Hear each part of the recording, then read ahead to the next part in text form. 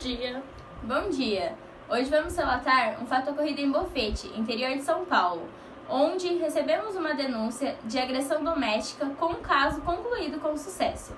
Afinal, as câmeras da casa incriminaram o agressor. Passaremos a imagem a seguir.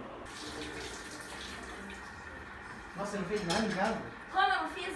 Olha a casa limpa. Aí, essa louça, nem comida você fez? Não deu tempo.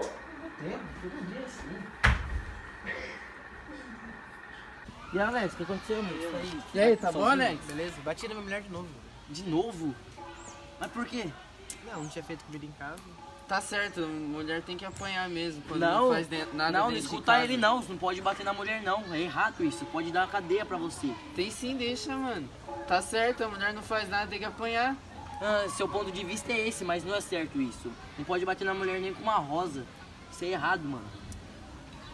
Mas pensa bem no que eu te falei, Pensa nós bem no que nós conversou aqui, hein? Certo?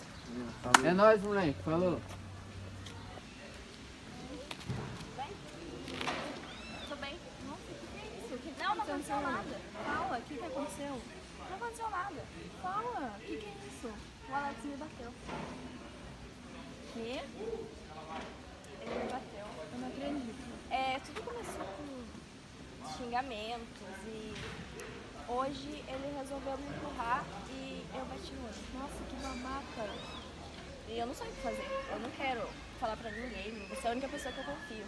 Não, a gente tem que fazer alguma coisa. Mas eu tenho medo do que pode acontecer. Meu Deus. Não, a gente tem que denunciar ele. Não pode. Ele não pode se safar dessa. Mas tudo bem. Bom, eu tenho que ir embora. Tchau, tchau. Oi, tudo bem? Oi, tudo e você? Bem, você não acredita o que aconteceu. O que? Ah, o Alex bateu na Isabela. Nossa, eu não acredito. Pois é, a gente tem que fazer alguma coisa. A gente tem que denunciar. Ah, eu vou. Alô, eu quero fazer uma denúncia anônima. Uma amiga tá sofrendo violência doméstica. Isso. Jardim Siriema, número 160. Tá, tchau, obrigada. Deu certo? Deu certo, eles vão lá.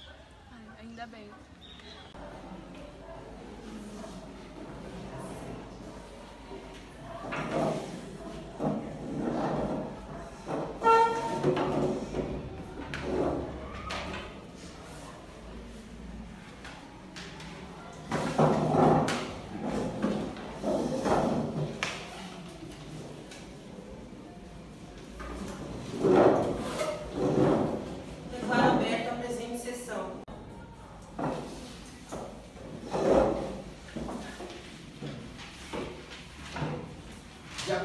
Fatos apresentados, é evidente que o réu Alex Marques agrediu a minha cliente eh, Isabela.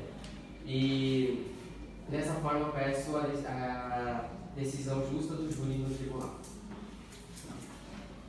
Excelentíssimo, o que eu tenho a dizer é que o meu cliente é inocente. O ato dele foi totalmente em legítima defesa.